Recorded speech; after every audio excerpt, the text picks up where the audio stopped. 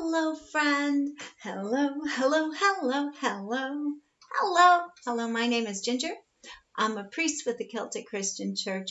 Welcome to Coffee Break Prayer, and um, it's good to be here with you. So, um, today I thought we could pray for our leaders. Now, when we say that word, a lot of us think immediately of like um, politicians, for example. Well, it came to mind for me because this weekend my church is having our annual gathering of, of clergy, deacons, and friends with our bishop. So many of my colleagues are leaders of their communities, and of course, the bishop is our leader, and all need need prayer because what they do um, is not easy. At least in my church, sometimes it feels like even the clergy. I feel for the bishop. She's like trying to herd cats, like that expression, which I love because it really captures so much of life, right? Like we're trying to gather this and that, and then by the time you get this one, the other one's gone. So let's pray for all of our leaders. Um, I've been thinking, as I'm sure you have, a lot about leadership over the past few weeks. Um, you know, we can we have very vivid examples in the world right now of what positive leadership and negative leadership can do. Um, so I think as an American, for me, it's important for me to remember too. I grew up with the idea that leaders were people who were kind of like had this charismatic gift for attracting people.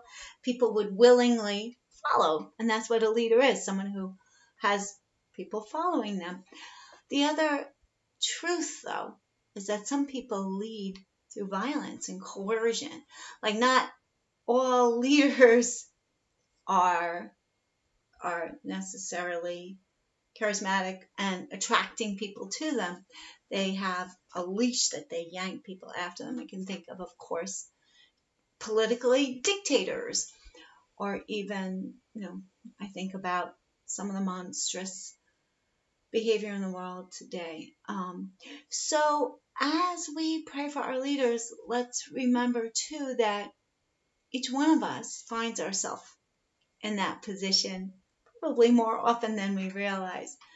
There are leaders in, of course, culture and the arts and social media, and um, every dinner table has the opportunity for someone to to lead or redirect when things go negative, whatever.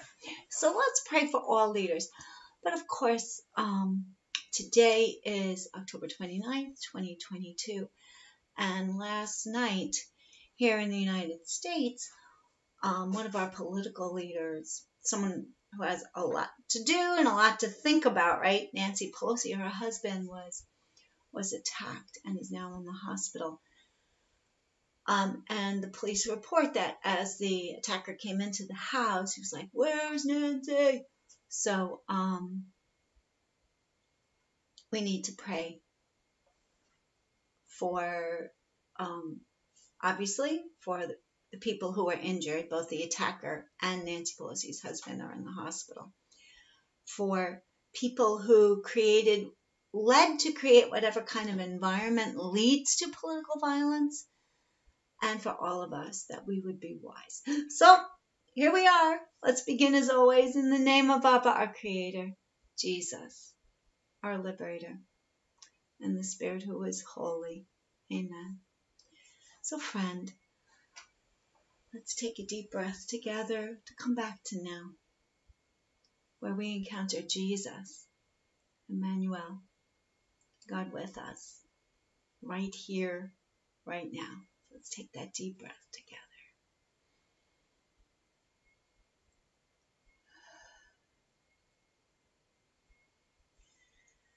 And I invite you to breathe, keep breathing naturally, nothing forced, just to notice where you feel your breath. And um, if you're having trouble breathing, I'm very sorry to hear that. And as someone with asthma, I know how exhausting and frightening it can be to struggle for breath. So you are, I'm assuming that you've already sought medical attention. If you haven't, please do so. But assuming that you're already kind of in a place where you're just waiting for things to get better and resolve, I invite you that you can, it's okay to focus on how uncomfortable that feels. That's part of the truth of where you are right now. And if you're somewhere in between, like um, I also have a lot of allergies, sometimes I just don't want to think about the breath.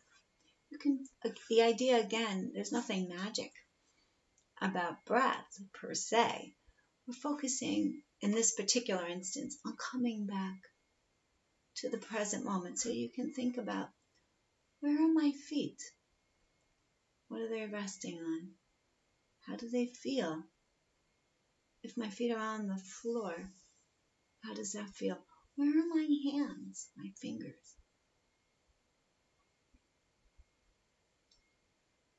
Sometimes when I begin to pray, I need to pay attention to the muscles in my jaw, which tend to tighten up when I'm anxious or worried or nervous. And I'll be honest, just doing live streams, sometimes I feel my jaw like, especially when there are computer issues, my jaw right away tightens up. So, Lord, grant us the peace and grace to come back to this moment however we can.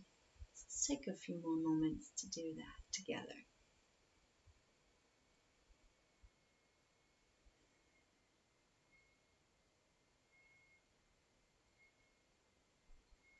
Thank you, friend. So, Abba, our Heavenly Parent, our loving God, thank you so much for blessing us with the gifts of life and breath. And we come together in a special way, I think, with elections coming up. We're thinking a lot about leadership and what it means. So we take up just a moment to lift up to you all those in leadership roles.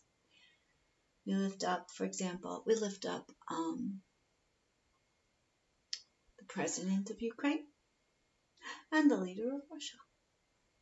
We lift up the president of the United States and the leaders in Congress and every Supreme Court justice. We lift them up to you to bless, not just so that you can change them to do what we want them to do, but so that deep within their own lives and in their own hearts, that they are blessed as human beings, as your beloved children, and whatever they need.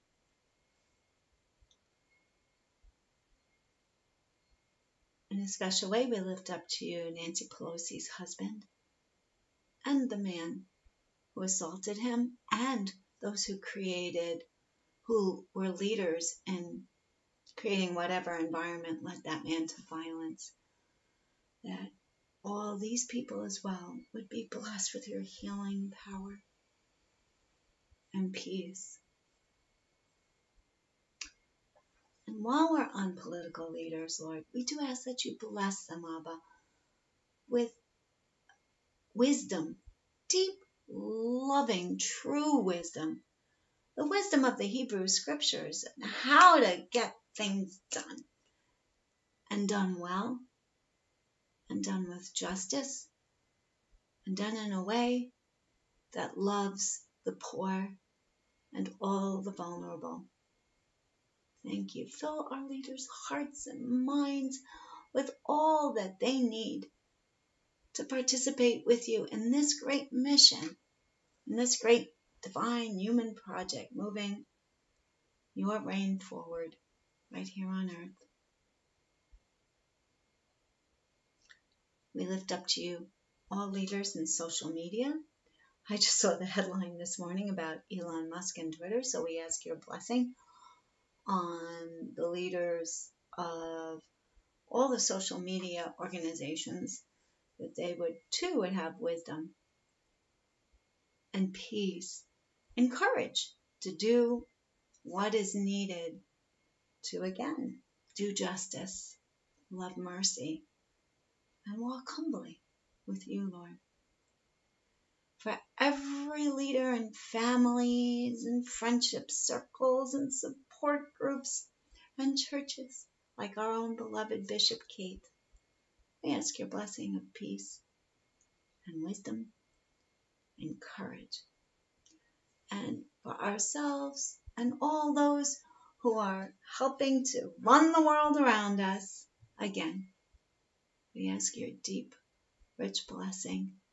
Whatever each one needs as a human being, and with what they need to help govern this world in a way that is good, that blesses the poor, that serves the vulnerable, that sees Jesus in every face.